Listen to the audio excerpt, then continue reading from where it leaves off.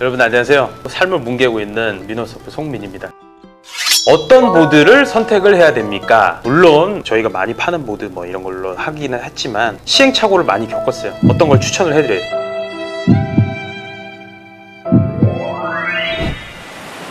저는 처음에 funboard라는 걸로 시작을 했거든요. 상황이 좀 다른 거예요. 제가 이제 서핑을 시작한 호주는 파도가 세고 파도도 자주 있고 한국에서는 얼마 전까지만 해도 우리 토요일 날도 일하는 상황이었잖아요. 그래서 서핑 할 수 있는 날 토요일, 일요일밖에 없고 그나마 토요일, 일요일 날 파도가 있나? 여러분이 어떤 장비를 어떤 보드를 선택을 해야 올바른 길을 가실 수 있는지에 대해서 좀 설명을 드리도록 하겠습니다.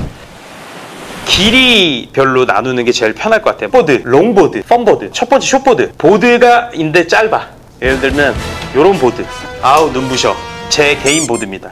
살이 지금 쪄서 못하고 있어서 포장을 뜯질 못했어요.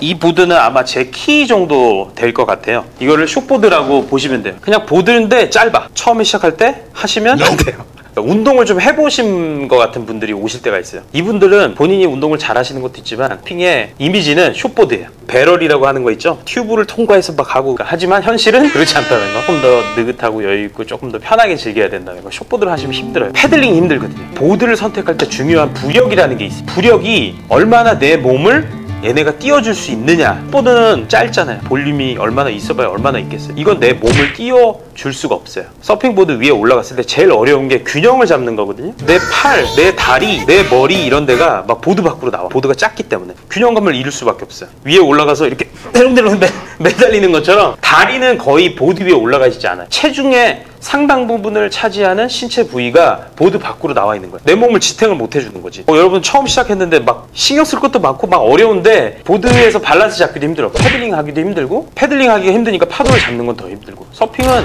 파도를 잡아야 되는 거거든요. 물론 안 된다는 건 아니지만 시간이 오래 걸리고 어렵기 때문에 숏보드는 비추합니다. 뭐 funboard, mini mal 더 긴 걸로 하시는 게 좋아요.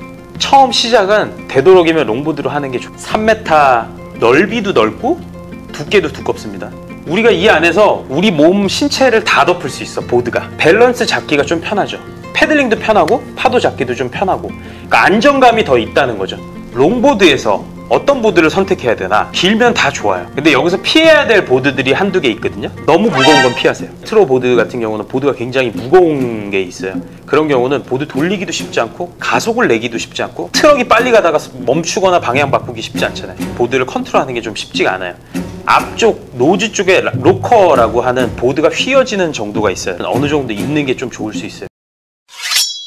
때문에 파도에 밀려서 보드와 함께 물에 처박힐 때가 있어요. 이게 nose dive라고 하거든요. 락커가 없는 보드면 보드일수록 앞으로 박힐 확률이 굉장히 높아요. 근데 앞쪽에 로커가 있으면 그걸 방지해줘요. 원래 rocker의 기능이 그거거든요. 처음에 서핑하실 때 장비 고르는 거 뭐 별거 없어요. 길고 두껍고 넓은 거 그냥 하시면 돼요. 왜냐면 그게 처음에 편하니까. paddling 편하고 takeoff 하기 편하고 그럼 파도를 많이 잡을 수 있고 그러면 서핑의 재미가 느껴지죠. 우선 재미가 있어야지 오래 할 수 있으니까. shortboard 좋아요. 멋있어요. 멋은 있는데 재미는 못 느껴. 물 안에 들어갈 때까지만 재밌어. 왜냐면 사람들이 쳐다보니까. 근데 물에 들어가고 나면 어우적대.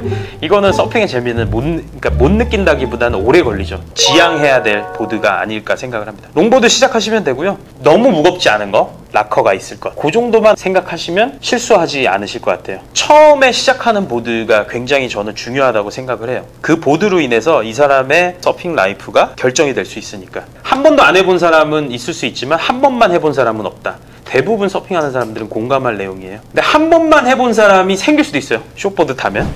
롱보드 하셔서 처음에 한 6개월, 한 1년 정도는 열심히 paddling하고 열심히 파도를 잡다 보면 거기서 생기는 궁금증이 생기다 보면 거기서 그걸 해결하고 해결하고 해결하다 보면 언젠가는 뭐 high performance longboard 뭐 아니면 클래식 logging 스타일 롱보드 또는 shortboard 뭐 여러 가지 장르로 나가실 수 있 으니까 처음에는 너무 크게 고민하시지 말고 길고 넓고 두꺼운 롱보드 자 여러분 서핑을 해보고 싶은 분 서핑을 해보신 분 서핑을 앞으로 더 잘해보고 싶은 분 저랑 함께 섭섭.